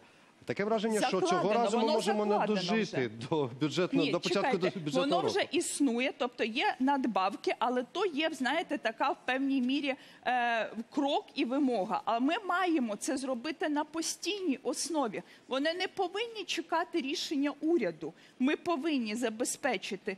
Лікарям уже зараз достойний рівень оплат на постійній основі. І для мене, як от для народного депутата, це є одним із самих основних показників Ну, в якості державного бюджету. Сподіваємось, не лише для вас, а й для я всієї щиро сп- і тому я монобільшості. закликаю колег, які є. Я кожного із них поважаю як дійсно фахівців, особистостей і державників. І я щиро вірю, що тут ми повинні нарешті об'єднатись і відставити Тетяна свої Острікова, політичні дякуємо. амбіції. Будь ласка, ви як економічний, Економічний експерт. експерт. От, е, чи немає ризиків, що із цих 19 мільярдах знайдеться частка, яку потім Знову перекинуть на дороги чи ще на якісь е, інші Тротуари. більш важливі Я проекти? вважаю, що 19 мільярдів, по-перше, я би з обережністю до цієї цифри підходила. Тому що якщо ми розберемося, а що з чого вони складаються, то 2,6 мільярда це вакцина, якої ще нема протестованої і ну сертифікованої. 1 мільярд на школи, і далі там близько 15 мільярдів. Це дані тільки рахункової палати. Якщо ми дивимося бюджет, то цієї стрічки окремої немає. Є виділена сума 123 мільярди на фінансування Національної служби охорони здоров'я. І це саме відповідь на ваше питання, що зовсім не факт, що саме 15 мільярдів з тих 123 будуть витрачені саме за напрямком боротьби з ковід. Тепер я обґрунтую тезу, чому 19 мільярдів я вважаю явно недостатньо. Навіть якщо їх буде 19, їх явно недостатньо. Тому що, окрім видатків на медицину, мають бути видатки на підтримку бізнесу, який постраждав внаслідок пандемії. І ми зараз чуємо від влади якісь різнопланові заяви. То вони будуть вводити жорсткий локдаун, якщо буде 9, якщо буде 15 тисяч виявлених, то вони будуть локдаун вихідного дня. Ми розуміємо, що якийсь локдаун, якийсь жорсткий карантин, врешті-решт буде, і будуть бізнеси, і будуть наймані працівники, які не отримають свої зарплати. Вже І сьогодні в ми мали в Харкові протести з проханням дати е, податкові канікули чи якісь преференції. Люди вимагали преференцій. Розумієте, коли наша влада копіює карантинні заходи в розвинутих країнах, то хай би вона також копіювала хоча б якісь Абсолютно. заходи підтримки. Тепер я хочу ще повернутися до тези про 66 мільярдів. Ми дали 20 туди, ми дали 30 туди. Ви тільки 66 задекларували. Це ви хочете їх дати, але їх немає. Якщо ми подивимося на видатки, які зроблені станом на сьогодні, це офіційні дані Міністерства фінансів, то близько 17 мільярдів це державний бюджет і близько 4 це місцевий бюджет. Так от, за цей час було витрачено вже сім- е, 21 мільярд на за напрямком боротьби з ковід на медичні і дорожні цілі. Це який лозунг? Вдаримо дорогами по коронавірусу, по підтримці бізнесу. Я перепрошую, але те, що казав пан Нестор про кількість тестувань, мінімальна пенсія закладена в цей проект бюджету 1769 гривень. Вартість тесту 1000 гривень. Е, населення 60 група ризику. Ви тут так нахвалюєте цей бюджет. А де ж у ньому ви передбачили хоча б безкоштовне і швидке тестування для людей з груп ризику? Якщо ви так розповідаєте, який це бюджет розвитку, який він соціально орієнтований, я перепрошую, прожитковий мінімум 2200 – це кінець епохи бідності. Чому ви пишете, що він фактичний 3700, а при цьому голосуєте за 2200? То не треба, будь ласка, тут розповідати, як уряд має, як депутати мають. Ви візьміть і зробіть. Ви знайшли 20 мільярдів додаткових коштів. Чому вони не на медицині? Чому вони не на боротьбі епідемії? Чому вони не на підтримці бізнесу? Чому ви їх дали в руки депутатам, які будуть в ручному режимі вирішувати і засівати свої округи? Зібрати голоси за бюджет? Так чесно і кажіть це, що це зовсім не соціальний бюджет, і медицина в ньому не в пріоритеті. Короткий коментар. Короткий коментар. Значить, з приводу того, чи будуть перерозподілені, хочу трошки тут внести корективи. На відміну від бюджету 2020, 19 мільярдів чітко закріплені за розпорядниками. Це Міністерство охорони здоров'я, Міністерство освіти і науки і НСЗУ. Тому відповідно. Ніяких ручного перерозподілу і зменшення видатків одній частині і збільшення в іншій відбутися не може.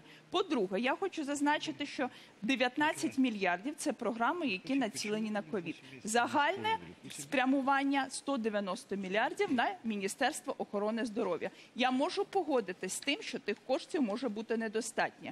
І тоді в такому випадку прийдеться доводиться робити якісь додаткові зміни. Але але треба говорити також людям дійсно е, правдиву інформацію. І на сьогоднішній день по вимозі Міністерства охорони здоров'я були закладено максимально враховані їх пропозиції. І, до речі, є правки народних депутатів саме на збільшення витрат на медицину А не на е, проекти Дякуємо, пані регіонального Леся. розвитку. Давайте про ситуацію на місцях Давайте, трошки да, на поговоримо. грішну землю Я повернемося. буквально вчора був в Ну, подивіться Одесі і знаю, висновки що дуже пропозиції. багато важких хворих. саме От яка доручила. ситуація, Давайте Микола візьмемо Скорик? Ви це доручення. як одесит, розкажіть, будь ласка, і потім Павло Козирів теж про Я вам- ситуацію я в могу вашому маленький регіоні. пример привести из жизни. Вот действительно, насколько у нас э, профессиональные врачи. Я э, буквально несколько дней назад общался с одним своим земляком, э, одесситом, достаточно известным, который болен э, ковидом и который, бл- э, будучи вначале в платной клинике, перешел в обычную э, городскую клинику, потому что там более профессиональные врачи, которые уже, по его словам, весь персонал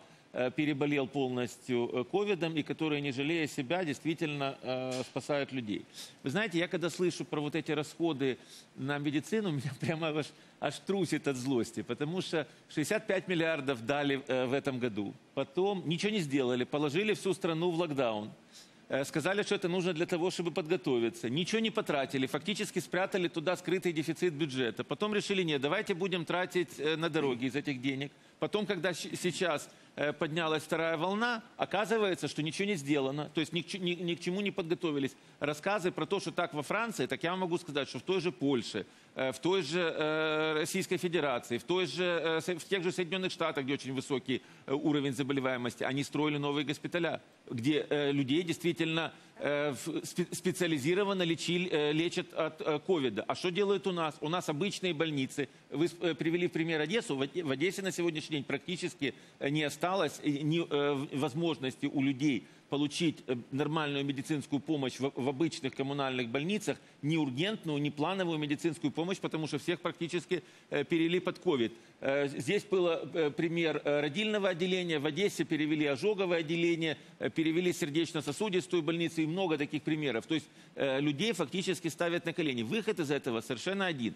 Э, Вот вы сказали, Леся, в отношении того, что есть э, строчка, или э, Татьяна сказала, в отношении того, что есть строчка э, под вакцину. Маленький пример. Э, э, Вот было много спора в отношении российской вакцины. Там не сертифицированная. Наша политическая сила говорила о том, что надо отбросить все моменты, связанные с политическими какими-то э, любит, не любит. Если эта вакцина рабочая, то ее надо закупать для Украины. И один из, лидер- э, и один из лидеров кінця, э, чи нашей политической робоча. силы Виктор Медведчук фактически протоптал эту дорожку. О чем э, вот э, пример? Израиль на сегодняшний день закупает уже полтора миллиона, з- э, заказал полтора миллиона этих вакцин для, т- для, св- э, для своих граждан. Венгрія закупала. Венгрия, то есть, э, ну, в Вен- Венгрии там проблема Почему с мы в Евросоюзом. Китае Евросоюз не 20 дает, тысяч Евросоюз в пока день не дает людей добро. з вакциною. Евросоюз пока не Чому? дает Ну, добро. Выход 20 из этой ситуации только один. Это э, поиск э, вакциной вакцинирования. Это действительно серьезное увеличение средств, э, затрат на э, медицину. И э, очень важный, вот э, совершенно справедливо вы только что говорили, что очень важный вопрос – это медики. Никаких этих 300-процентных э, доплат никто не получал. Опять же, э, кто будет их получать, какая гарантия, что в 2021 году с этих новых денег вы будете платить э, э, эти 300%, а с 65 вы ничего не платили. Я, кстати, вот э, Батьковщина проголосовала за бюджет, я считаю, что вот теперь слуги народа и Батьковщина за этот бюджет прекрасный несут ответственность, потому что это их политическая ответственность Дякуємо. У нас голосовать за такой дуже мало антинародный часу. бюджет. До речі, Пане з приводу Олександре. Дуже цих коротко доплат скажу, ми ви зараз знаєте, на жаль, побачили вакцина приклад. настільки Я ефективна перепрошую. вакцина Ми в з- Російській Федерації призводить до 20 тисяч смертей за добу. Це показник її дії найперше. по-друге, Скільки- що скільки стосується смертей? 20 тисяч. Ви чого? Якщо по всій Росії, близько так. не так. що стосується чиї дані? безпосередньо, Це що чиї стосується дані? безпосередньо бюджету, ви знаєте, е, ми нарешті повинні зайняти державницьку позицію. Ми всі несемо відповідальність за народ, який нас обрав. І той факт, що в цей бюджет ми заклали, у мене багато питань до бюджету. Я вам щиро кажу, багато, і тому я продала подала 55 структура- пропозицій. питань Але те, багато, що он структурно заклали неправильний. підвищення заробітної плати не за рахунок надбавок, а фіксоване постійне підвищення, я вважаю, це великий плюс Извините. для нас. Плюс 378 больных каждый день. Вот это, Ну, мы м- говорим о это смертности, данные про э, смертность. про- м, погибших плюс 378, а количество больных 20 тысяч. Потому что Так, а они чему честно тестируют. Давайте не обманывайте. Вот, пок- я покажу. Количество, вот, э, я против манипуляций. Вот Раша, э, смотрите, 20 тысяч больных, погибших плюс 378. А Джерело? Вот это еще Раша. одно Яке вранье. Джерело? Раша. Вот вы только что сказали, что в России каждые сутки гибнут Це 20 російський тысяч человек. сайт, це ви взяли статистику, 378. статистику з російського Есть сайта. разница между Так, 20. давайте- Вот так вы и Ні, считаете. Это Вы считает видите, вот это было Российская вранье. Федерация. Это считает Российская Федерация. Добре, е, панове. Давайте Присідайте, пане Несторе. підсумовуємо. У нас лишилося три Ти Знаєш, хвилини. і мене мучить сумління. Ми дуже мало с- слова давали па- е, панові Павлу. А, будь ласка, скажіть, на місцях зараз яка ситуація? Ви точно знаєте, чого в не вашому вистачає місті найбільше? Українка, це Київська область. Дивіться, тут перше. Е, я перший раз став мером у 2002 році і жодного. е, кожен рік це крутий бюджет, він соціально Це були орієнтований. інші часи, пане Павло, Да, і інші постійно часи. були. І так само погана була медицина. І всі ці роки ми повинні були працювати командою і об'єднуватися. І тут зараз є шанс, бо держава без самоврядування, так само як і самоврядування без держави, не зможуть подолати цей виклик. І громади, до речі, по-разному тут діють. Ви правильно задали питання. От дивіться, приклади. Київщина, Біла церква. Там мерія вирішила, що ударимо бруківкою по е, коронавірусу, так, і все літо бруківка. Українка ви запитували. Там взагалі нічого не робили, тимчасова влада була під домашнім арештом. Два міста ви тут показували на початку: Франківськ, Тернопіль. 50-70 мільйонів десь навесні. Кожне це місто перерозподілило з видатків, з якими можна почекати, на підтримку лікарів. Коротко, на... півтори хвилини лишилося. Да, але до кінця. що турбує ще нас, дуже, дуже турбує. Що зійшлися тут не тільки ж зараз цей, е, пандемія і виклик з ковідом. Ми зараз сформували нові райони і фінішує реформа на рівні лікарень. І всі ці три події сходяться от зараз на кінець року, і ми можемо отримати ще один, ну, одну проблему величезну. Тому я повертаюся до того, що починав. Потрібно взяти зараз Асоціація міст України, малих міст, уряд, Міністерство охорони здоров'я, тому що потрібно і Підсумовуємо. Треба операцій, да, єднатись навколо вирішення операційно і проблем. фінансово об'єднати, щоб Решить цей вопрос виклик можна в один подолати. только Так, пане спосіб. Павло, дякую. А до сих пір ви не зустрічались? До сих пір Міністерство охорони здоров'я не ініціювало такої зустрічі. Ну тоді чим займались взагалі? 8 месяцев чем занимались? Вот это возмущает. Э, Иван Коллеги, Куругин, я вы извиняюсь, одна обещали, фраза. 30 секунд. Мы... Иван, Так, будь ласка, дуже коротко. Ми, я я ми хотів вже би сказати часу ключову нема. річ, що е, вчора парламент проголосував висновки і пропозиції постанови Верховної Ради до бюджету. І цим рішенням е, дійсно були надані дуже конкретні доручення уряду для підготовки бюджету до другого читання. Я вважаю, що насправді цей бюджет, як і кожен бюджет, надзвичайно тяжкий для держави. Але я пам'ятаю бюджети попередніх років, коли знищувалися інфекційні лікарні, де зараз немає куди хворих класти, коли знищувалася санепідемслужба, і зараз фактично не було взагалі епідеміологів, коли, коли знищувалося пенсійне забезпечення для людей. Безумовно, що були закладені абсолютно неадекватні норми в попередніх Наслідки бюджетах, яких ми є наслідки бачимо яких зараз. ми сьогодні з вами Дякую вам. переживаємо. Дякую вам. Остання, Ми остання мусимо репліка йти. коротка, Нас- дозвольте. Сьогодні ми можемо нас немає зробити більше. тільки одне. Е, Ми повинні говорити людям правду. Ми вже нічого переоборудовать не успеем. А вот лекарствами помочь людям для лечения, это еще то, что мы максимум можем Пане сделать. Несторе, И это дякуємо. мы должны заставить эту власть делать. Дякуємо. Тесты и лекарства. Ми Вже немає неодноразово, часу.